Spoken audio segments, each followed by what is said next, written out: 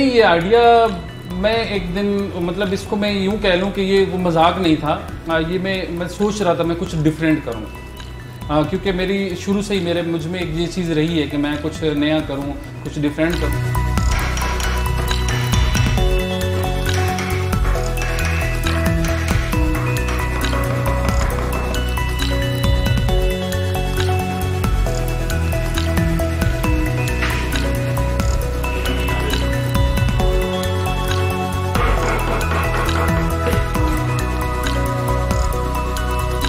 जब से ये मैंने ये काम शुरू किया ना, इसके बाद जो ना मतलब क्लाइंट्स बढ़ गए हैं, लोगों का अतमाद बढ़ गया है, और जब आप किसी भी प्लेटफॉर्म पे नज़र आ रहे होते हैं ना लोगों को तो लोग कहते हैं कि नहीं यार, हमें हम हम इसको ट्राई करना चाहते हैं, हमें इसको ट्राई करना चाहिए।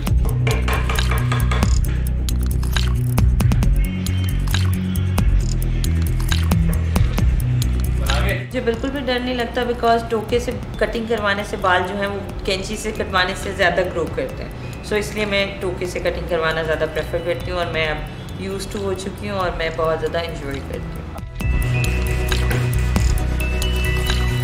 इस तरह की कोई फीलिंग्स नहीं आती। स्किन से बहुत दूर होती है बस बालों के ऊपर ऊपर लगी होती है तो बहुत अच्छा फील होता है।